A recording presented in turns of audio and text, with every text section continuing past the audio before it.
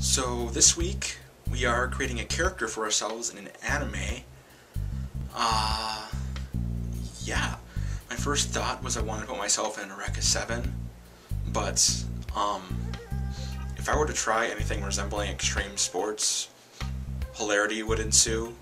I mean, for the people watching me, I mean, I would be sore and bruised and possibly unconscious, so uh, no.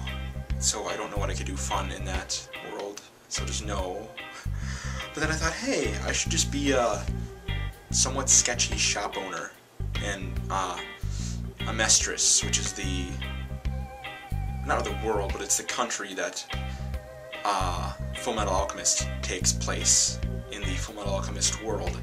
So that'd be fun. I mean, not like evil or like anything really bad, but sort of uh, like Urahara, if I'm I am, I think. Yes. Correct me if I'm wrong, if you wish. But yeah, just kind of you know the guy that owns a shop is a little bit wacky. The lovable scrounge. Yeah.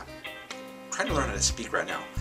The lovable scoundrel kind of character. You know, you can come and see him and might question where some of my goods came from, so to speak. But you know, come and see me for the various sundries you need in the full, full metal learning to speak alchemist world.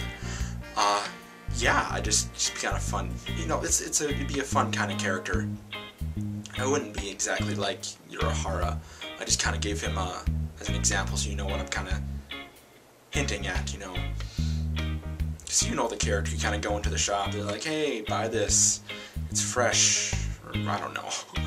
Uh, yeah, just probably an incidental character, as would be in the world, but uh, just kind of fun because you're not sure if you can trust them or not, but you know it's you're not sure if you uh, love to hate him or hate to love him, perhaps, even though he's not a bad guy.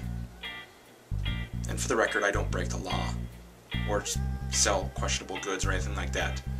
It's just kind of a would be a fun character to be or play, so to speak.